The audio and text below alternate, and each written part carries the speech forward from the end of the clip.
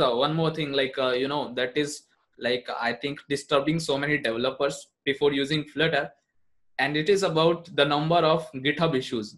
Do you think like it really matters that how many how many numbers of github issues are there? Well i guess i mean it, it matters to who and for what reason. Uh, it's it's something that the flutter team has to concern themselves with because some ctos and some engineering directors when they are reviewing new technologies that their developers ask to use one of the things they check is, are open issues on github now the problem there is that it's just not a very good heuristic.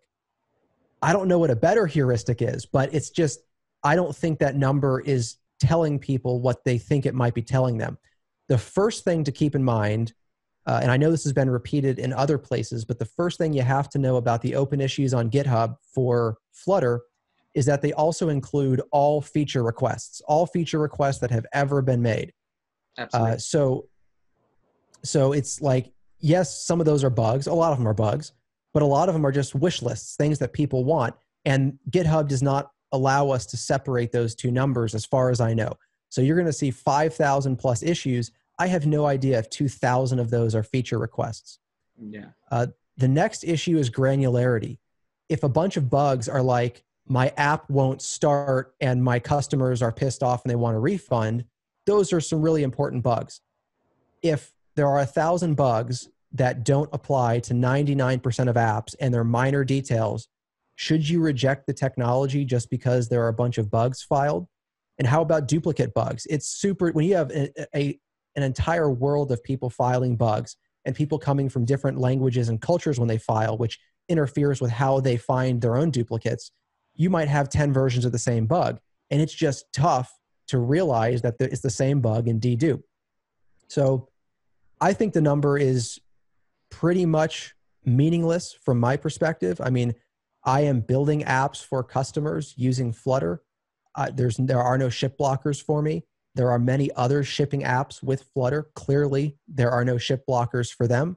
So, what does that number really mean? I don't know, but I think anyone who uses that to say we shouldn't use Flutter because of this number, I, I don't think they're being serious about what that number represents that's true I, I feel the same because I, I as you said like you know there are so many duplicate requests in terms of like i'm not saying duplicate from the perspective of the user who is like writing it maybe there is one single issue but uh, all of them have different kind of uh, experience with that.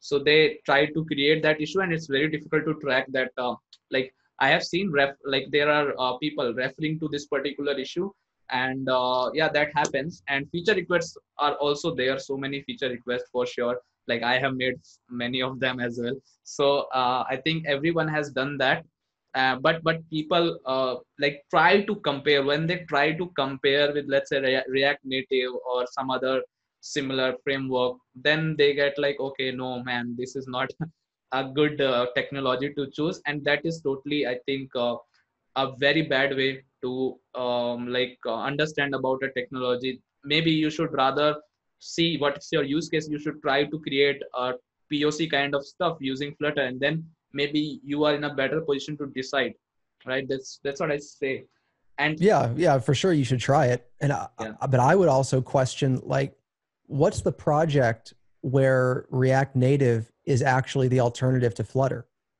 uh, i mean react native still uses the um, the standard platform UI elements. You're just abstracting them into JavaScript.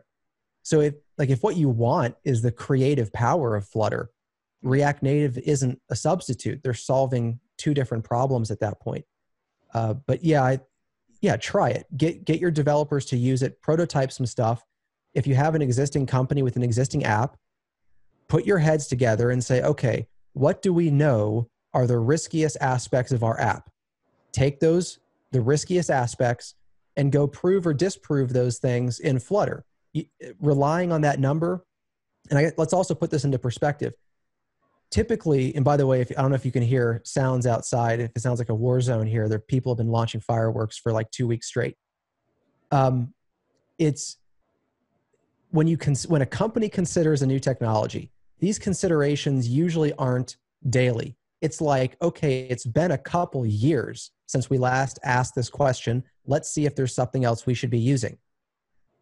To say yes or no based on a number on the header of GitHub as to whether you're going to adopt a transformative technology for the next two years is absurd. You are not being serious about the payroll and logistic consequences of doing it or not doing it.